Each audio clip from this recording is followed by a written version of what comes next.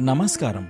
భారతదేశపు ఇతిహాసంలో స్వాభిమానం కోసం స్వదేశ ధర్మ సంస్కృతి పరిరక్షణ కోసం అంకితమై అసువులు బాసి మాతృదేశ రుణం తీర్చుకున్న మహనీయులెందరో ఉన్నారు. వారే ఇతిహాస నిర్మాతలు ఆదర్శ జీవులు ప్రాతస్మరణీయులు. వారి జీవితేతి వృత్తం ఇతిహాసం అనిపించుకుంటుంది కావ్య గౌరవాన్ని సంపాదించుకున్న ప్రసిద్ధ తెలుగు ఇతిహాసాలను సంక్షిప్తంగానైనా నేటి యువతరానికి పరిచయం చేయాలన్న ఉద్దేశంతో ప్రచురించిన పుస్తకమే ఇతిహాస లహరి. శ్రీ దుర్భాక రాజశేఖర శతావధాని గారు రచించిన ధర్మవీర రస ప్రధానమైన రాణా ప్రతాపసింహ చరిత్రముపై డాక్టర్ ముదిగొండ శివప్రసాద్ మహమ్మదీయుల క్రూర పాలనను అంతం చేసి హైందవ జాతిని ఉద్ధరించటానికి కంకణం కట్టుకున్న ఛత్రపతి శివాజీపై శ్రీ గడియారం వెంకట శేషశాస్త్రి గారు రచించిన శివభారతం కావ్యంపై డాక్టర్ ప్రసాదరాయ కులపతి ప్రాచీనాంధ్ర ప్రభువుల చరిత్రను పురాణంగా రచించిన శ్రీ మధునాపంతుల సత్యనారాయణ శాస్త్రి గారి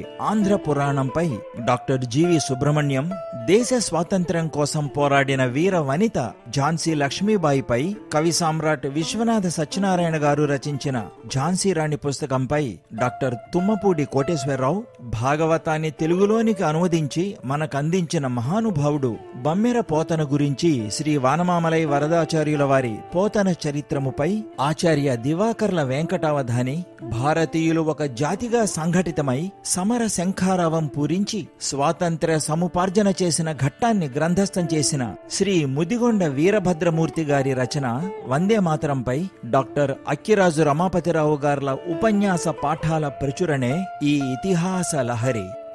వీరి ఉపన్యాస పాఠాలను పూర్తిగా చదవాలని ఉంటే క్రింద వీడియో వివరాలలో ఇచ్చిన లింకును క్లిక్ చేసి ఉచితంగానే చదువుకోవచ్చు.